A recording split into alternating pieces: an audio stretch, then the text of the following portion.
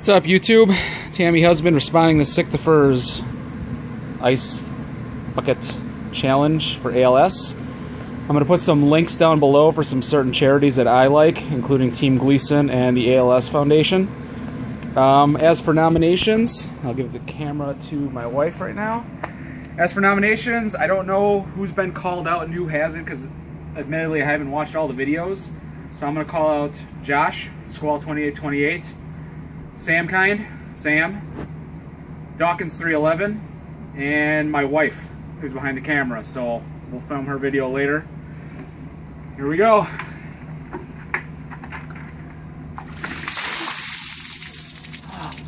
That is refreshing. so that's my video. No white flags, Team Gleason. Go donate. Later.